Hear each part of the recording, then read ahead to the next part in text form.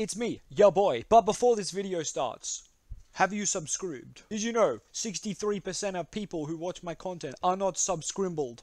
Could you do a freaking smash of the subscribe button? Without further ado, we have a video to watch today. Yes, we are roasting a video, not a deck profile, and check it out right here. Joshua Taylor has sent us in this uh, nifty little vid. We're going to give it a watch right now together. Let's go. This is in the uh, Dark Magician.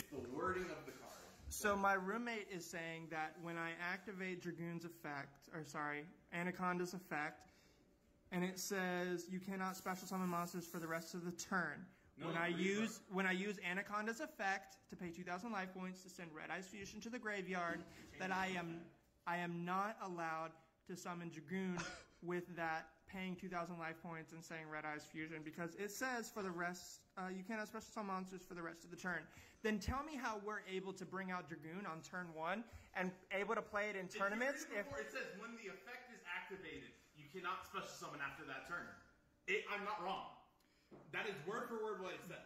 guys please tell me that this guy's just This guy. sort of losing. I'm not sort of losing. I Alright, that's an incredible video.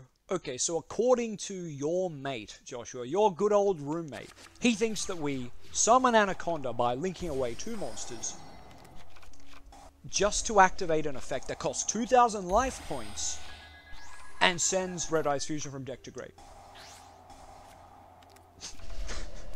Here we are on the official Yu-Gi-Oh! card database with Anaconda's effect. Let's read it together as a to effect. You can target one face-up monster on the field. For cost, notice the semicolon. Semicolon means you target the monster for cost. After that, your opponent can respond to your targeting. Next thing that happens is if your opponent doesn't chain anything, great, Anaconda's effect resolves, and that monster becomes dark. Cool. Effect one, out of the way. Effect number two. Now listen, Joshua's roommate. I understand that this card's wording is a little tricky, but you need to understand this card's been out for over a year, and everyone's already had their moment of not understanding this card. They've all had their moment of thinking they can still Ash Blossom it. They've all had their moment of thinking that negating it still means that you're locked out of special summons. So look, I can understand your confusion. Let's read this effect together as a class once again. You can pay 2,000 life points. Pretty hefty cost. And send one fusion or polymerization normal or quick play spell from your deck to the graveyard. And look what's there again. A semicolon. What does a semicolon mean again? Oh, it means it's cost. So at this point, I would do all of this before asking my opponent to respond. That means I would deduct 2,000. I would send a card from deck to grave. And then I would ask my opponent, do you have a response to me sending Red Eyes Fusion? That is all what happens as the very first effect. Before anything else happens, I pay cost. Everything before the semicolon is cost, and you must do it first. At that point, I ask my opponent, are you going to respond to Anaconda? If they say no, this is how I will resolve the effect. The very next thing after the semicolon will occur, because that's how you read a sentence, right? If my opponent chooses to not respond, I will go back to the semicolon and read everything after it. This effect becomes that spell's effect. What that means is it copies Red Eye's fusion on resolution. So before any of that, Anaconda's effect is to copy a fusion spell. It actually hasn't copied it yet. That's the reason it can't be Ash Blossom. You send the Red Eyes fusion from deck to grave for cost. It's similar to how Magician Souls cannot be ashed, except Red Eyes Fusion can be ashed, and here we are mimicking a card that can be ashed. But we don't mimic it till resolution. This is very similar to Numeron Network sending Numeron Calling from the deck. That effect cannot be ashed. You send it for cost, and then it mimics Numeron Calling on resolution. So you're not actually locked into any of the restrictions if it gets negated. Much like this. If Anaconda gets Ghost Ogred, the effect will still resolve because monsters don't need to be on the field to resolve their effects. However, Numeron Network in this comparison, if it gets Ghost Ogred, it will not resolve because it's a field spell. It needs to be face up to resolve on the field like a continuous spell. You are still not locked out of special summons in that Numeron comparison. If you don't know, Numeron Calling will lock you into one more summon after you summon out all the Numerons. Anyway, we got a bit off topic there. Coming back to Red Eye's fusion being sent off Anaconda. Anaconda has been agreed to be resolved. Your opponent has nothing to chain in response.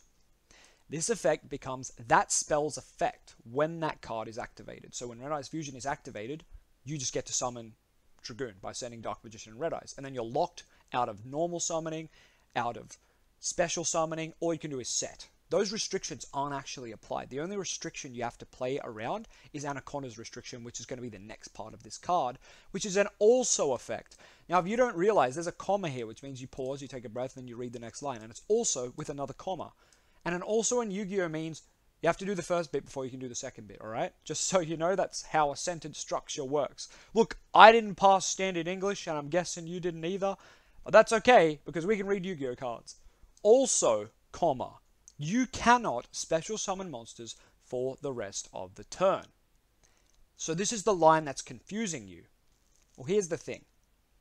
What this actually means is after this effect resolves, you are unable to special summon for the rest of the turn. You can still normal summon, and mind you, if Anaconda gets negated, you can still special summon. Some people still don't know that, so I would understand if that was the confusing part. But no, you are confused by something beyond comprehension.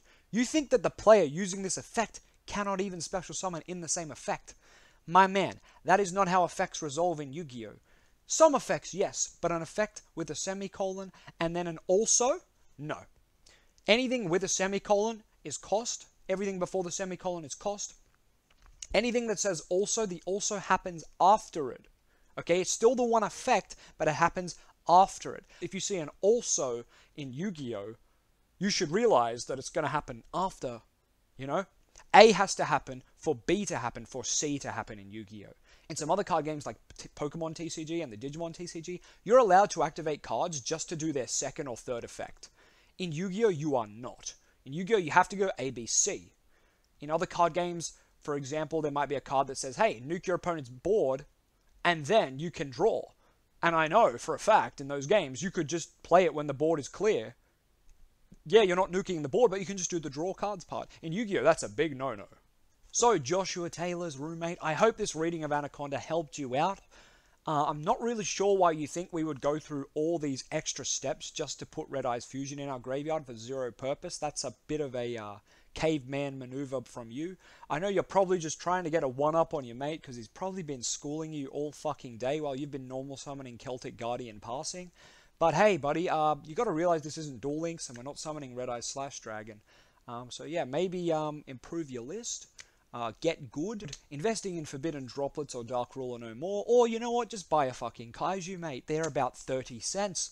I'll give you a Gameciel for free in the mail if you need. Bonus part for the people who stuck around. You can only use each effect of Predaplant Verte Anaconda once per turn. Now, what does this restriction mean? This means if the activation of Predaplant Anaconda's effect gets negated, either of them, you are boned. Yes, you are screwed, sir. And what I mean by that is, if you activate the fusion effect of Anaconda and your opponent imperms you, it doesn't matter if you summon a new one. You cannot try to use it again. It says you can only use each effect of Verte Anaconda once per turn. It doesn't say you can only activate. All right, bonus one for the people who stuck around. You can only use each effect of Predaplant Verte Anaconda once per turn. Now, what does this mean in terms of ruling? Well, it means if it gets negated and by if Anaconda gets its activation negated by something such as Solemn Strike, can you actually make another Anaconda and use the effect? Well, the answer sadly is no, because it says you can only use each effect of Predaplant Verte Anaconda once per turn, you're actually locked out of trying to use it again because you've already used it. It didn't resolve, but you tried to use it. So the game recognizes that and says, you cannot use it again. If Verte Anaconda said, you can only activate each effect of Verte Anaconda once per turn, we would be able to make Anaconda, get hit with a Solemn Strike, link into another one, do it again. Unfortunately, that's not the case, but in another timeline, it could have been.